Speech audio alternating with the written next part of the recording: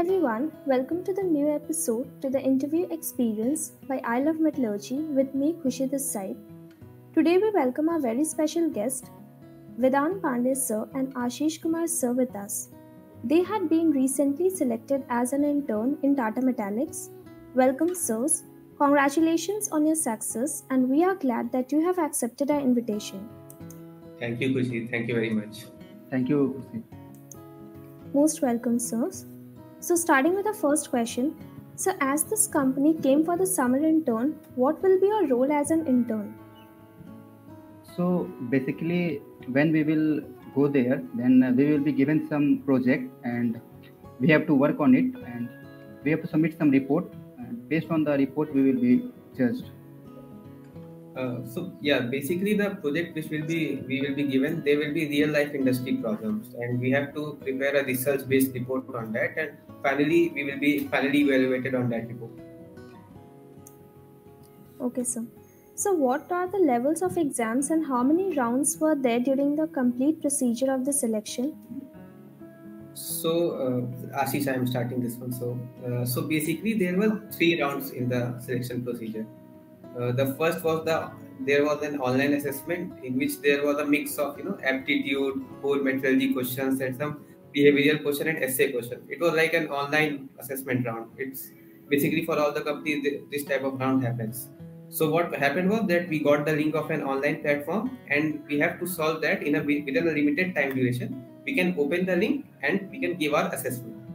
After the results were declared for this round, a date for further rounds were given on that particular date, initially a pre-internship talk was given by the company officials, and then we had our group discussion round.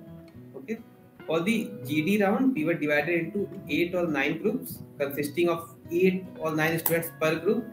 Each group was called one by one, and topic for GD was given to them. GD was, uh, I guess, uh, unstructured. GD was unstructured. After the completion of GD round, approximately 10 students were selected for final technical plus HR interview. And in the interview, both like in the interview, there was no separate technical and HR round. In the interview, both technical and HR questions were asked to each candidate. So this was the like overall three rounds were there. You can say online, GD, and then final technical plus HR. So I would like to, yeah. I would like to talk about the level of the questions. Then in the as Vedant said that uh, first round was the written test. Then in written test there was two sections, aptitude and core questions were there. So in aptitude the level was in both aptitude and core questions. Both uh, the level was uh, you can say easy or below average. The first round was easy, but uh, in technical round the questions were you can say the questions were quite questions were uh, of uh, above average, you can say. The level was quite good of the questions in technical round.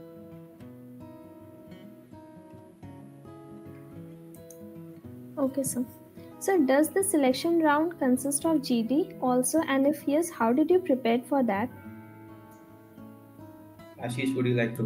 Okay, so for GD, I, I I used to randomly select any topic and used to practice. Like I used to try to speak uh, on that topic for one to two minutes, more not more than that, because there also you will get you will get uh, not uh, more than two minutes to speak. So I used to select any random topic and and also with uh, you can also make some group of uh, not uh, very large four to five your with your friends and you, you can select any general topic for GD and practice it. Try to speak and be fluent. So that I did for GD. Yeah, so yeah, for GD you can pick up any general topic and you can practice on it. And especially for Tata Metaliks, I would like to add that uh, you should have good etiquettes and like when you are the GD was unstructured, so there was a you know that I need to speak first, I need to speak first. There was a hustle between us.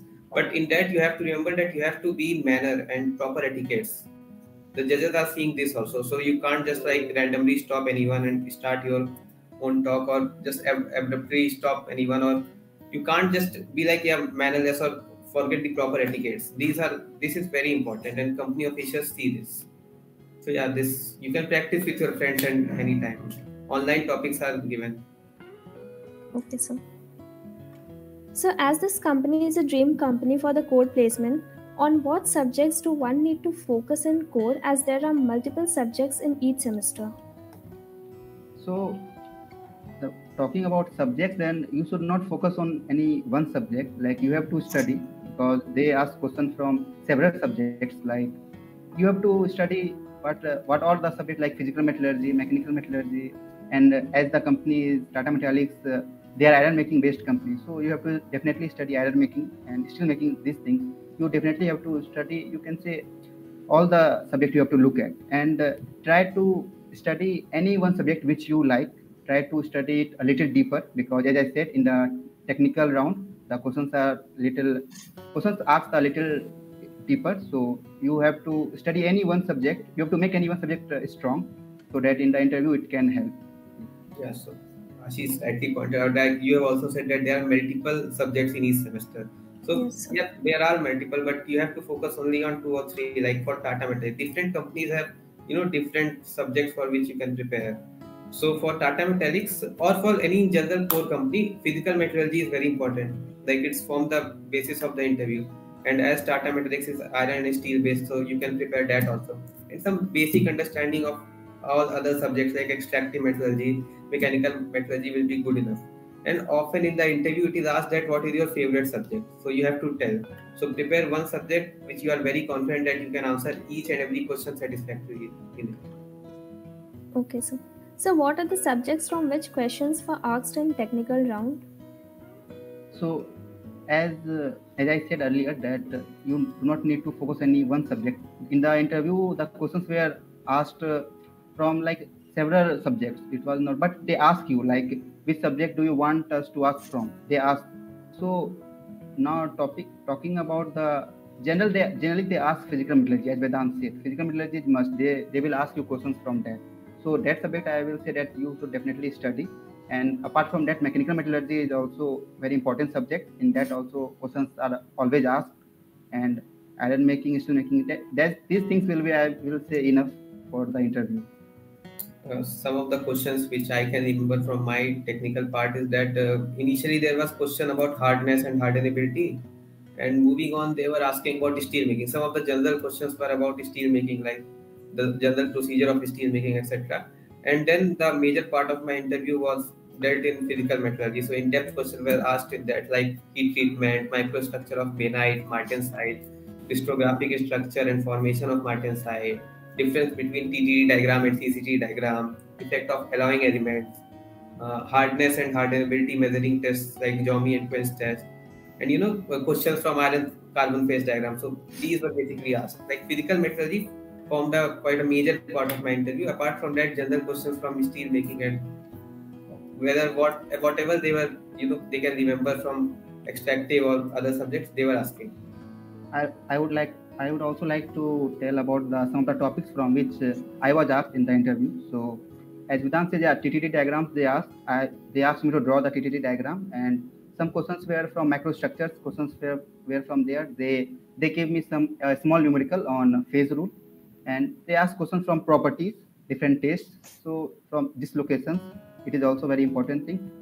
From uh, heat treatment also questions are always there. Like these questions, uh, these topics must be done. Yeah, Ashish like pointed out they were having pen and paper. So some of the questions were They can give some small numerical to solve. To solve on the paper. like from uh, lever rule or small Composition. problem they can give yeah, so they were pen and paper available, so you have to solve some of the questions there and on, on the spot. Okay, sir.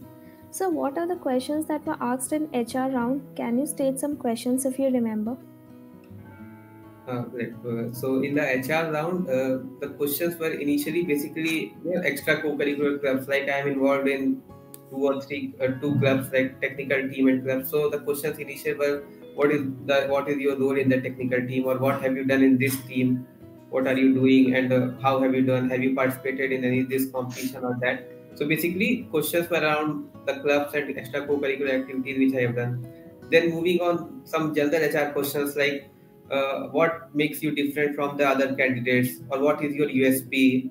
They were also asking like "Oh, my name Vedant, so they asked what is the meaning of your name, and uh, it was like so what is your philosophy of life? This type of question they were asking. So these were basic HR questions like uh, what makes you different. Tell me any time like you utilized your biggest strength. What are your some of the weaknesses? These are the questions. Yeah, in HR, yeah, they ask about extracurricular activities. Like if you are in any club, then they will they can ask you from that like what do you do. So these things only they ask in HR round. And there was no extra, no any HR round. Actually, it was a technical round. In that they only ask about yeah. that these things. So initially in my interview, first the HR questions was there like uh, what is your role in the club, what you do, this, that, and then they moved, shifted to the technical part, and then they asked about the technical questions.